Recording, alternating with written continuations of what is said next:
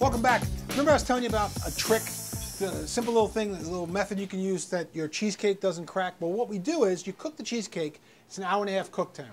45 minutes through, halfway through, you go on the oven, rotate it 180 degrees in case there's a hot spot or a cold spot in the oven. And most ovens, there's spots that are hotter than others. So this way you get this thing to cook evenly.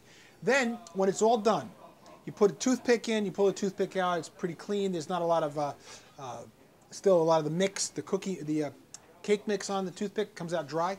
What you do is you shut the whole oven off, and then you take a spoon, and you let the oven door stay open.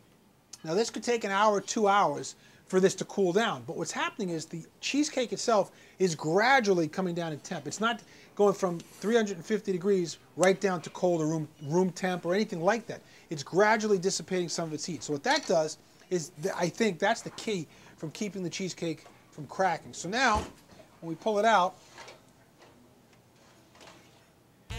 you have is, see the cheesecake now, see the top?